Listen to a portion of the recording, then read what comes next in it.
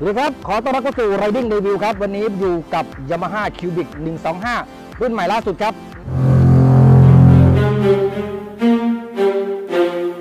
นอกจากความโดดเด่นของการดีไซน์แล้ว วันนี้ครับ มีการปรับปรุงเปลี่ยนแปลงในเรื่องของสีสันนะครับ เพื่อให้สะดุดตาในการขับขี่บนท้องถนน แน่นอนว่ามันจะต้องตอบโจทย์ในเรื่องของการขับขี่ของวัยรุ่นนะครับ ยุคนี้นะครับ ความโดดเด่นสวยงามมาก่อน และแน่นอนครับวันนี้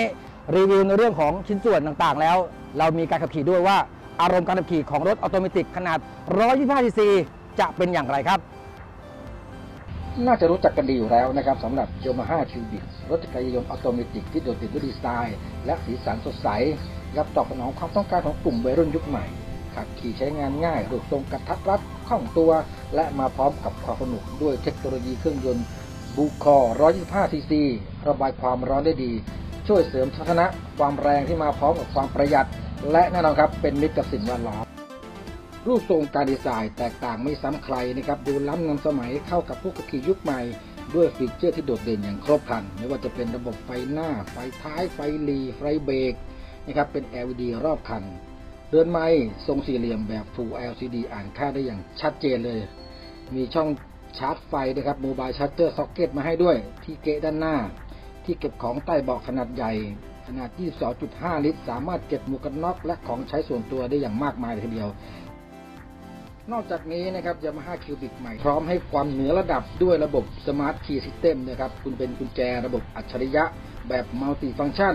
สตาร์ท ดับเครื่องยนต์ ปลดล็อกแฮนด์ ปลดล็อกเบาะ ปลดล็อกฝาถังน้ำมัน ใช้งานได้สะดวกในจุดเดียวในเรื่องของความปลอดภัย ระบบเบรกดิสหน้าพร้อม ABS นะครับเป็นการป้องกันล้อล็อกการควบคุมการขับขี่ได้อย่างมั่นใจยิ่งขึ้นวงล้อแม็กขนาด 12 นิ้ว หน้ายางนี่กว้างพิเศษนะครับข้างหน้า 130ทับ70 ขอบ 12 ข้างหลังนี่ยางเบอร์ 140ทับ70 ขอบ 12 นี่ก็เฉพาะในรุ่น Cubic ABS และ Cubic S เท่านั้น สำหรับการขับขี่ในวันนี้นะครับในพื้นที่ของศูนย์ฝึกอบรมขับขี่ปลอดภัยยามาฮ่าหรือ YRA นะครับก็ต้องบอกว่าให้ความรู้สึกรถเนี่ยการควบคุมที่มีความคล่องตัวนะครับมันสามารถพลิกเลี้ยวได้เร็ว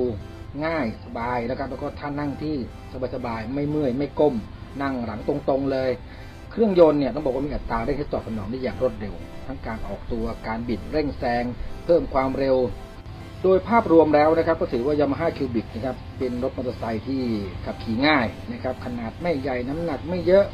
แถมยังประหยัดน้ำมันอีกด้วยนะครับถ้าใครสนใจหรืออยากจะจับจองเป็นเจ้าของ ก็สามารถติดต่อได้ตัวแทนจำหน่ายทั่วประเทศเลยนะครับ Yamaha Cubic ใหม่นี้นะครับมีสีสันให้เลือกถึง 6 สี 6 สไตล์ก็คือ รุ่นของ Cubic Standard นะครับสีดำแดง สีดำฟ้า ราคาแนะนำอยู่ที่ 54,400 บาท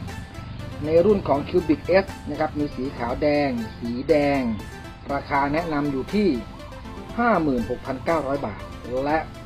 Cubic ABS นะครับที่เป็นตัวท็อปสุด สีน้ำเงินแดง สีเขียวเหลือง ราคาแนะนำอยู่ที่ 6,800 บาท